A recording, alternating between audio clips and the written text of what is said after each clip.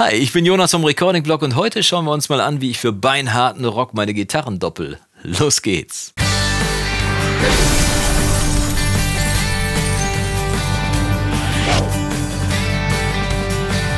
Tag und schön, dass du wieder eingeschaltet hast zu einem weiteren Video hier im Recording-Blog, meinem kleinen Kanal, in dem ich dir helfen möchte, mit meinen Tipps deine Musik möglichst schnell radiotauglich klingen zu lassen. Und äh, heute, äh, radiotauglich ist vielleicht nicht ganz das Stichwort heute, denn heute geht es um beinharten Rock und den hört man doch relativ selten oder leider viel zu selten im Radio. Aber äh, bei beinhartem Rock denke ich natürlich sofort an ein knalliges Schlagzeug, an äh, einen fetten Bass und vor allem fette Gitarrenwände. Und fette Gitarrenwände, da schießt jedem ambitionierten Home Recorder natürlich sofort ein, äh, nicht nicht nur die Milch ein, wollte ich gerade fast sagen, sondern die Idee ein, dass man Gitarren doppeln muss. Aber wie oft muss man sie doppeln? Wie doppelt man sie? Und äh, was kann man dabei beachten, wenn man äh, nicht einfach drauf losdoppeln möchte, sondern wenn man den Song auch ein bisschen dynamisch gestalten will? Das Ganze schauen wir uns gleich einfach mal in der Session an, die ich vorbereitet habe. Ich habe eine kurze Session vorbereitet, in der ich im Prinzip alle Stationen einmal abgehandelt habe und das Ganze auf eine Minute komprimiert. Das wird bestimmt spannend, hören wir uns gleich an. Verpasst nicht nach der Session gleich noch eben die Frage der Woche, denn da geht es heute um eine ganz besondere Form von Kooperation. Und äh, wir schauen jetzt aber erstmal rein in die Session, also los geht's. So, dann sind wir schon in der Session und äh, damit ihr auch wisst, wovon ich rede, hören wir erstmal komplett in das Pattern rein. Es dauert ungefähr eine Minute, also jetzt anschnallen und los geht's.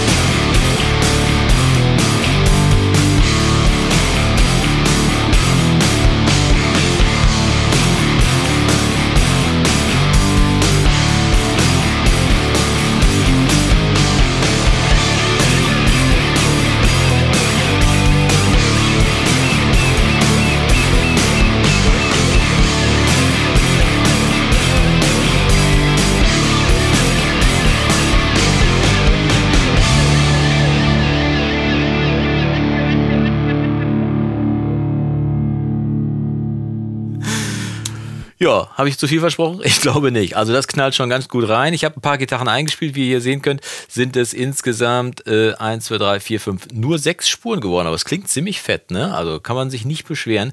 Äh, und wie ich es genau gemacht habe, das erzähle ich jetzt einfach mal. Wir fangen ja am Anfang Mono an und letztendlich, wenn ich die gedoppelten Spuren alle weglassen würde, das sind nämlich diese, die ich jetzt hier gerade markiert habe, dann würde auf jeden Fall von vornherein diese Hauptspur hier, die Silhouette mit, äh, würde hier, diese Spur würde hier durchlaufen und äh, die ist auch das Fundament für den ganzen Song. Das heißt, sie läuft komplett durch, immer schön in die Mitte getaktet und äh, dementsprechend gibt die das vor. Da sie äh, auch das Pattern vorgibt, äh, gibt sie im Prinzip auch alles weitere vor, nämlich wie, äh, wie die Doppelungen auszusehen haben. Und ich habe, hier kann man es gut sehen, SG. SG steht für Yamaha SG. Ich habe eine andere Gitarre genommen als die erste Gitarre, das ist schon mal gut. Und einen anderen Amp-Sound, auch gut. Dann kann man nämlich besser doppeln. In der Mitte äh, einen festen Sound und dann links, rechts, außen zwei andere Sounds angelegt. Und das sind diese beiden Spuren. Und die fangen ein bisschen später an. Ganz einfach, weil ich ähm, äh, zwar hier ein kurzes Pattern habe, aber wie in einem Song auch verschiedene Stufen abbilden wollte. Das heißt, in einem Song hast du ja eine Strophe, wo ein bisschen weniger los ist, eine Bridge, wo ein bisschen mehr los ist, ein Refrain, wo ein bisschen mehr los ist und äh, dann gibt es wieder zurück, zweite Strophe, wieder ein bisschen weniger los, meistens Mono-Gitarre, dann wieder die Bridge, ein bisschen Stereo dazugefahren, dann wieder Refrain, volle Lotte, dann gibt es noch einen Breakdown irgendwie so, was weiß ich, einen Zwischenteil, wo es noch ein bisschen ruhiger wird und dann gibt es zum letzten Refrain nochmal volle Pulle auf die Mütze, wo es richtig brennt. Und letztendlich habe ich genau genau das hier abgebildet. Wir starten hier Mono. Dann habe ich hier die beiden Gitarren dazugepackt, aber ich habe sie nicht einfach reinlaufen lassen, also nicht einfach nur gestartet, sondern ich habe hier drunter über einen VCA die beiden Spuren automatisiert und reingefahren. Und wenn man hier mal hinguckt, dann sieht man hier, dass ich die schön über so eine steigernde Kurve reingefahren habe. Das heißt, die breiten Gitarren werden von der Seite langsam reingeschoben und machen das Soundbild automatisch breiter. Erstmal merkt man gar nicht, was los ist, man merkt nur, dass es fetter wird und so kann man Stück für Stück dazuschieben. Wenn man das schön langsam und subtil macht, dann kann man das in der Bridge zum Beispiel schön machen oder in den letzten zwei Takten von der Strophe, um dann zur Bridge hin schon ein bisschen unterzulegen. Dann äh, schiebt man sie vielleicht nicht, nicht bis zu Null rein, sondern äh, nur ein bisschen, damit es ein bisschen breiter wird und dann zum Refrain volle Pulle. Äh, wie gesagt, ich habe hier dann äh, gesteigert und dann würde hier, da wo sie jetzt bei Null angekommen ist, ja an dieser Stelle, würde jetzt quasi der, äh, der Refrain starten. Ne? Und ähm, das klingt dann, wenn ich das dazu fahre, ich lasse es mal hier ab der Stelle laufen und ihr hört dann, wie das langsam da reinfährt. Ich mache mal äh, ab hier.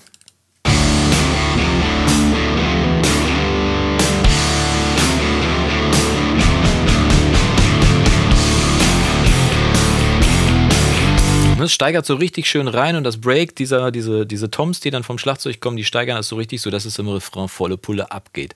Und wie gesagt, ich habe für die beiden gedoppelten Spuren, die spielen exakt das gleiche, was die mittlere Spur ausspielt, eine andere Gitarre genommen und einen anderen Amp-Sound genommen. Das macht auf jeden Fall dann Spaß, weil die beiden Sounds, die aus der Mitte und die von außen sich dann auch ein bisschen unterscheiden und dann ein bisschen leichter zu mischen sind. So kann man schon ganz leicht auf jeden Fall doppeln und unterschiedliche Sounds hinkriegen, äh, ohne dass man jetzt groß in die Trickkiste greifen muss. Ich äh, habe die aber nicht natürlich nur einfach so gedoppelt und nach links und rechts außen gepannt, also ganz brutal, sondern ich habe hier auch noch einen kleinen anderen Trick gemacht, denn äh, das habe ich schon mal in einem anderen Video gezeigt. Ich kann das mal hier verlinken, wo ich das gemacht habe. Äh, denn diese Spur hier, wenn man das genau sieht, äh, wo ist sie hier auf der linken Seite? Ich zoome mal rein. Man sieht, die ist nach links außen gepannt und die andere Spur ist nach rechts außen gepannt. Aber hier oben sieht man noch, dass ich die auf einen Bus geschickt habe, nämlich den Bus 10. Und der Bus 10 heißt hier Gitte Criss Cross. Was soll dieser Bus machen? Ganz einfach. Das Signal, was auf der linken Seite von der Gitarre gespielt wird, wird auf diesen Bus geschickt. Da wird ein klitzekleines Delay gemacht. Das heißt, es wird ein bisschen verzögert und dann wird das Ganze auf die rechte Seite geschoben. Das heißt, die, die linke Gitarre wird leicht verzögert auf der rechten Seite nochmal gespiegelt und dann wieder dazu geschoben. Das gleiche habe ich bei der rechten Gitarre gemacht und äh, die auch auf diesen Bus geschickt. Da wird das Ganze dann mit einem kleinen Delay versehen, gespiegelt auf die andere Seite geschickt und schon kriegt man ein etwas fetteres Soundbild. Das heißt, ich zeige mal den Bus, den ich hier gemacht habe. Der heißt, äh, ich klicke den mal hier doppelt, dann wird er auch angezeigt. Das ist dieser hier. Und wenn ich ein breiteres Bild habe, dann kann man es noch ein bisschen besser sehen. Hier, wo ist denn hier? Gitarre Crisscross, genau. Und hier kann man es sehen. Ich habe einmal das Delay genommen und habe hier ein ganz, ganz kurzes Delay genommen. Hier ein Sechzehntel Triplet, also ein ganz kurzes, das nur ganz leicht verzögert ist. Und dann, das ist bei Logic ganz praktisch. Ich weiß nicht, ob andere DAWs das auch haben. Ich glaube, Studio One hat das auch. Aber äh, bei den anderen Cubase Pro Tools kenne ich mich nicht so gut aus, dass ich wüsste, welche Bordmittel die haben. Aber hier bei Logic ist es speziell dieses Gain-Tool, was ich hier habe. Wenn du hier reinzoomst, siehst du, dass ich hier Swap LR, das bedeutet nichts anderes, als dass linker und rechter Kanal äh, vertauscht werden. Das heißt, was links reinkommt, wird rechts wieder rausgeschickt. Und das ist super easy. Das ist nämlich genau das, was ich hier brauche. Die äh, links hart außen gepannte doppelte Gitarre kommt da rein, wird auf der rechten Seite wieder rausgegeben und dadurch kann man ein extrem fettes Soundbild machen. Deswegen habe ich auch alle gedoppelten Gitarren, also alle Gitarren, die nach links und rechts hart außen gepannt sind, nochmal einmal auf diesen Bus geschickt, damit sie da noch so einen kleinen verzögerten Mini-Klon auf der gegenüberliegenden Seite hat. Vielleicht kann man so am besten sagen. Also, das spezielle Doppeltechnik und wirklich sehr cool, macht einen super fetten Sound. Ähm, wenn wir dann hier an der Stelle angekommen sind, der Refrain läuft durch, dann habe ich ja hier einen kleinen, einen kleinen Breakdown, den wir hier mal kurz reinhören können. Ne, da wird es noch ein bisschen ruhiger. Das könnte man vergleichen in einem Song mit äh, so einer, mit einer Mittelstellung, zum Beispiel kurz vor dem letzten Refrain. Was weiß ich, wenn man noch acht Takte hat, wo man noch ein bisschen runterfährt, um dann im letzten Refrain so richtig Gas zu geben. Und natürlich habe ich auch hier im letzten Refrain der hier quasi dargestellt ist, ein bisschen Gas gegeben und habe noch eine weitere Gitarre dazu gedoppelt. Wall of Sound war das Stichwort. Fette Gitarren durch viel äh, Doppelung. Und deswegen habe ich hier diese Kanalspuren noch dazu gegeben, die heißen äh, MM für Music Man, das ist die Music Man Silhouette. Camper, auch wieder einen anderen Sound ausgewählt. Links außen und rechts außen. Warum? Weil ich die äh, nicht nur nach außen gepannt habe, links und rechts ist ja quasi vorgegeben äh, durch das Doppeln, sondern ich habe die auch noch auf einen Bus geschickt und der Bus ist dieser hier auf der rechten Seite. Zoom ich mal rein. Das ist der, äh, wie heißt der? Der heißt äh, Gitte White. Ja, sagt es ja, Gitarre weit. Und da habe ich dieses Plugin drauf, das BX Digital. Und das BX Digital, es gibt auch ein Pendant, den Direction Mixer äh, bei äh, Logic. Aber ich wollte jetzt mal dieses Plugin nehmen. Sieht ein bisschen kompliziert aus, aber letztendlich äh, kann man hier genau in diesem Plugin, das ist ein etwas breiterer Equalizer, kann man äh, in dem BX Digital V2 das Monosignal und das Stereosignal separat voneinander bearbeiten. Und genau das wollte ich hier haben. Ich wollte nämlich im Monosignal, das kann man hier sehen, wollte ich äh, eine andere EQ-Kurve haben haben. Im Monosignal habe ich die Höhen rausgenommen, damit der eigentlich in der Mitte sitzende Sound sich gut durchsetzen kann und äh, äh habe dafür hier auf der Stereo-Sektion, also auf das Signal links und rechts außen, habe ich die Höhen angehoben. Dadurch rutschen diese, rutscht dieses Signal von diesen breiten Gitarren nochmal ein bisschen weiter nach außen. Also die Höhen betonen es links und rechts außen nochmal. Und dann habe ich, wenn man hier oben gucken kann, äh, jetzt dann bloß nicht besoffen werden, hier genau da unter der Maus, Stereo-Breite habe ich nochmal angehoben und zwar auf 158. Das heißt, ich habe nicht nur die die Höhen auf den Seiten angehoben von diesen beiden Spuren, sondern ich habe auch noch die Stereobreite verbreitert, damit es noch breiter wird. Da muss man aufpassen, dass man dann das Signal im Mono nicht verliert Aber so in Stereo klingt das schon ziemlich fett. Und äh, da noch nicht genug. Ich habe also nicht nur einfach stumpf vor mich hingedoppelt, sondern diese beiden Spuren, ich spiele sie mal an.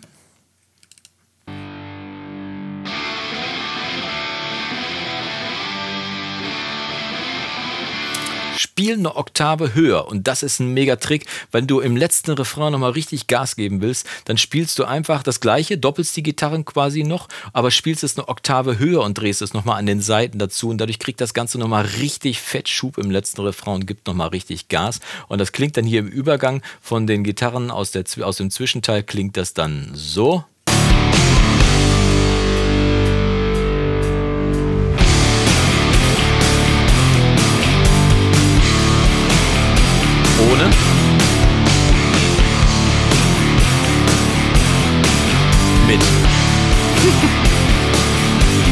Sehr geil. Und dann habe ich noch einen kleinen Trick äh, in die Trickkiste gemacht, ganz am Schluss, weil ich nochmal richtig wollte, dass der letzte Refrain, also die letzten acht Takte nochmal volle Pulle abgehen. Und in den letzten acht Takten eines Songs ist in der Regel alles erlaubt. Der Sänger darf singen, was er will. Die Chöre, naja, können auf jeden Fall volle Pulle reinhalten. Oder bei hartem Rock eben eine Solo-Gitarre, die nochmal Gas gibt. Und äh, am besten kann man Energie erzeugen, indem man ein bisschen Chaos erzeugt bei so einem Song. Und äh, Chaos habe ich hier in Form von dieser Spur gemacht. Ich habe ein Solo eingespielt, aber nicht irgendeins. Ich habe das Solo erstmal äh, über einen verzerrten Sound eingespielt. Dann habe ich noch ein Wawa dazu gemacht und dann habe ich zu allem Überfluss auch noch per Pedalboard hier im Logic ist das eingebaut, noch so eine Art Hammond-Effekt draufgelegt. Das zeige ich euch jetzt nicht im Detail, aber das Ganze klingt auf jeden Fall infernalisch, nämlich so.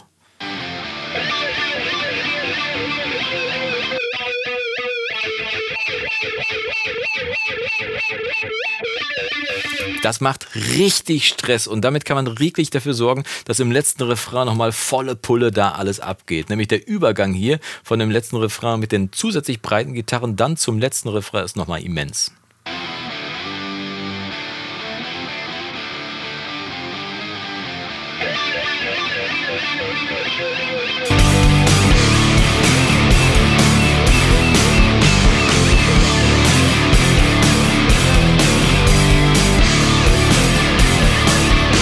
Sehr geil. Es macht richtig Spaß, es geht volle Pulle ab, breite Wand of Sounds, äh, äh, indem ich gedoppelt habe indem ich die Spuren nochmal links und rechts äh, mit ihren kleinen, leicht verzögerten Klonen versehen habe indem ich nochmal eine Oktave höher gedoppelt habe und am Schluss noch ein Chaos-Solo reingespielt habe. Das Ding brennt richtig. Wenn es dir gefällt, geht mir schon die Stimme weg, weil es so geil ist. ich hoffe, es hat dir gefallen. Auf jeden Fall, jetzt gehen wir zur Frage der Woche. Los geht's. Also wenn das nicht fett war, dann weiß ich es aber auch nicht. Also das spülte schon ganz schön die Löffel durch. Das kann man auf jeden Fall sagen. Kommen wir zur Frage der Woche. Die kommt heute von Dennis. Und Dennis äh, schreibt, Herr Jonas, ich verfolge deinen YouTube-Kanal schon eine ganze Weile und muss sagen, der kommt echt gut weiter so. Vielen Dank, Dennis. Äh, was hältst du eigentlich davon, verschiedene Künstler über deinen Kanal zusammenzubringen? Einer macht coole Mucke, einer will lieber singen oder eine Gruppe macht lieber Background-Gesang oder ein Drummer will seine Loops an den Mann bringen oder oder ja, der Möglichkeiten gibt es da auf jeden Fall viele. Super Idee, Dennis, auf jeden Fall. Denn ähm, unsere kleine Home Recording, nein, unsere Recording-Blog-Familie besteht natürlich nicht nur aus Leuten, die mischen wollen, sondern vor allem aus Musikern. Musiker wie du und ich, die das eine besser können als das andere. Und deswegen geht mein Aufruf quasi durch den Post oder durch die Frage von Dennis direkt raus an euch.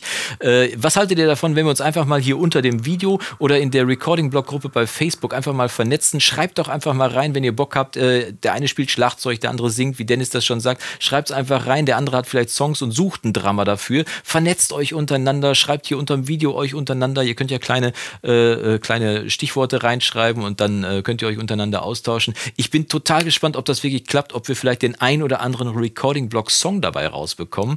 Und äh, wenn ihr den rausbekommt äh, in so einer Kooperation, dann schickt mir den auf jeden Fall zu. Ich werde ihn dann nicht nur hier spielen, ich werde ihn dann auch, also jetzt nicht jeden Song, aber ich werde auf jeden Fall den einen oder anderen Song dann mal hier spielen, äh, in, dem, in der Gruppe auf jeden Fall anspielen. Und vielleicht kann ich ja auch mal ein Feature dazu machen, dass ihr mir vielleicht sogar euren Mix schickt, den ich dann mal ein bisschen analysieren kann.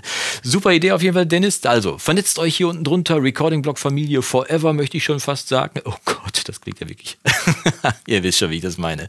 Wenn dir dieses Video gefallen hat, würde ich mich freuen, wenn du mir einen Daumen nach oben gibst und mit einem Klingelchen bleibst du auch auf dem Laufenden beim Abo, wenn du das geklickt hast. Denn nächste Woche gibt es den äh, berühmt-berüchtigten Livestream hier auf meinem Kanal. Und äh, für alle Leute, die sich noch nicht in den Newsletter eingetragen haben, die diese Woche gibt es äh, als Preview für alle Newsletter-Abonnenten auf jeden Fall das Interview der Woche, wollte ich schon fast sagen. Nein, ein frisches Interview aus der Reihe 30 Minuten mit dieses Mal mit ja, dem unglaublichen Moses Schneider, unter anderem Produzent von den Beatsteaks. Ich freue mich schon total darauf, euch das zu zeigen. Also für die Newsletter-Abonnenten diese Woche exklusiv Preview. Äh, vergesst also nicht, den Newsletter zu abonnieren unter recordingblog.com. Und wir sehen uns, wenn du magst, nächste Woche wieder. Bis dahin wünsche ich dir vom Guten nur das Beste. Mach's gut und Yassou.